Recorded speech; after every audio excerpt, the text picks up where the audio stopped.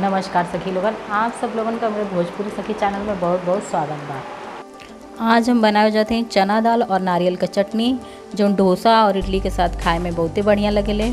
तो पिछले हफ़्ता हम डोसा का रेसिपी आप लोग के साथ शेयर कर ले रही हैं तो आज हम चटनी का रेसिपी आप लोग के साथ शेयर करते हैं। तो सबसे पहले हम जाते हैं यहाँ चना दाल का चटनी बनावे। तो चना दाल का चटनी बनावे के लिए हम यहाँ पर ले रहे हैं एक कटोरी चना दाल। तो ये एक कटोरी चना दाल के सबसे पहले हम धीमी आँच पर भून ले। तो गैस कर दें थी चालू और फिर अब रख देब एक फ्राई पैन। आप लोग कढ़ाई भी रख सकीला। और इमें सब चना दाल के डाल दे और एकदम आँच की धीमी करके भूनब हल्की आँच पर। चना दाल का चटनी बनावे के लिए जब आप चना दाल भूनब तो बहुत ध्यान दे कि आँच थोड़ा भी तेज ना होके के चाहिए। एकदम हल्की आँच पर चना दाल के भूने के चाहिए। हल्की आँच पर अगर आप चना दाल भूनब तो चटनी का बहुते बढ़िया स्वाद आई। तो ऐसे ही धीरे धीरे करके आप चना दाल के भून लें और जब आपका चना दाल हल्की भूरी हो जाए तो समझ लें कि चना दाल भून के तैयार हो गई है।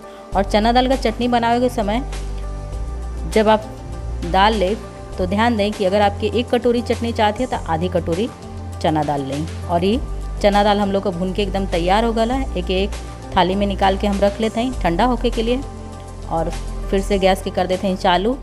और इनमें धीमी आँच पर हम तीन लाल मिर्च और लहसुन का कुछ कली डाल देते हैं, जितना हमके आवश्यकता है।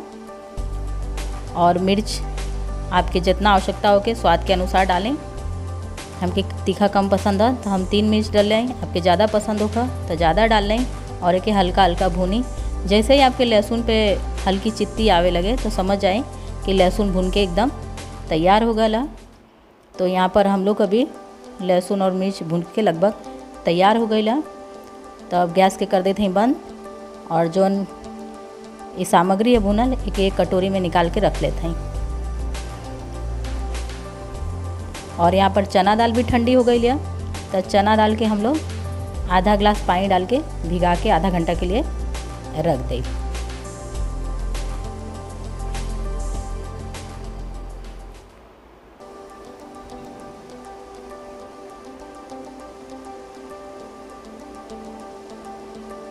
आधा घंटा हो गया चना दाल फूल गई लिया।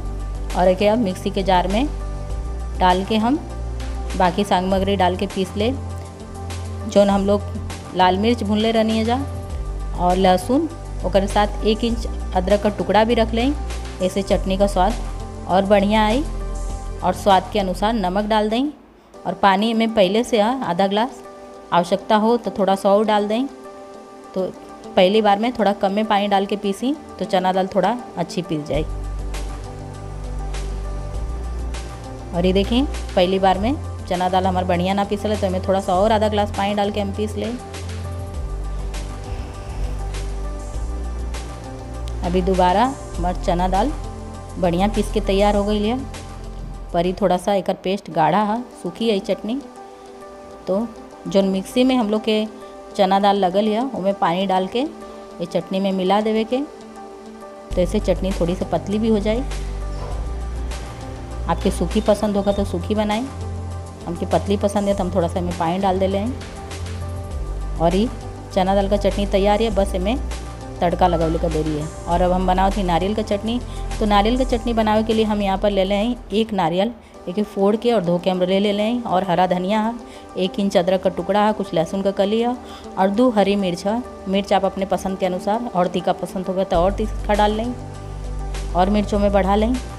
पर यहाँ पर हम दो मिर्च का इस्तेमाल कैले हैं और ये हम लोग का जो गरी का टुकड़ा है, एक मिक्सी में डाल लेल जाए। और ये अदरक, लहसुन, और ये धनिया पत्ता, और मिर्च के हम काट के ले लें जैसे जल्दी पीस जाए। और नमक डाल लेते हैं स्वाद के अनुसार। ये नमक थोड़ा सा हमारे कटोरी में चिपक गला। तो वैसे भी ये चटनी में पानी डालने का आवश्यकता है तो थोड़ा सा हमें कटोरी में पानी डाल लें। और आधा ग्लास पानी डाल के चटनी की बढ़िया से पीस ले।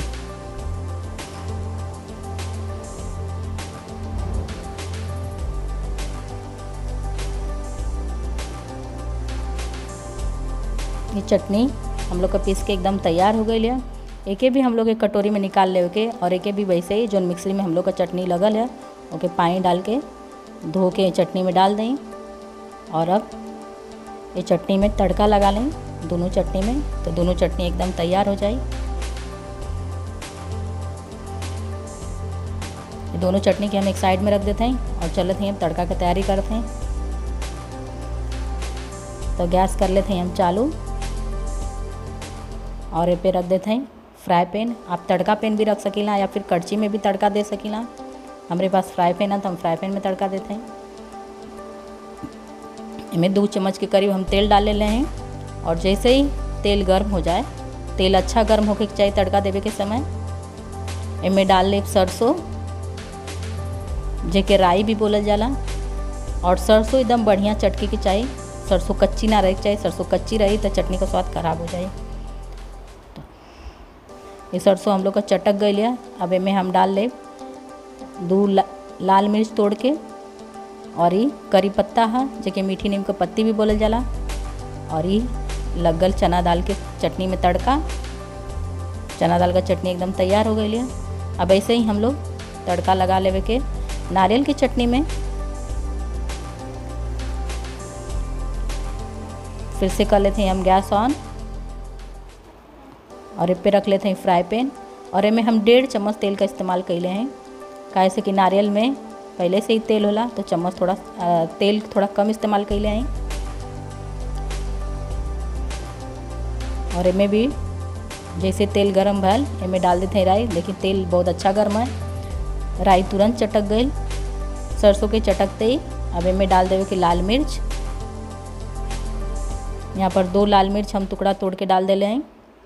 और फिर एक करी पत्ता, मीठी नीम का पत्ती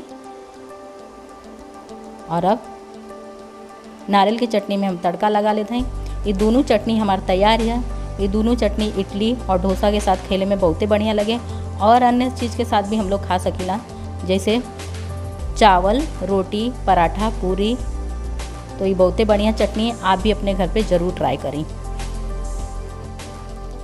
और यदि हमारी रेसिपी आप लोगों के पसंद आ गया तो प्लीज़ हमारे चैनल के लाइक करें शेयर करें और सब्सक्राइब करें। वीडियो पूरा अंत तक देखे बहुत बहुत धन्यवाद। मिलते हैं फिर अगली रेसिपी के साथ। तब तक के लिए नमस्कार।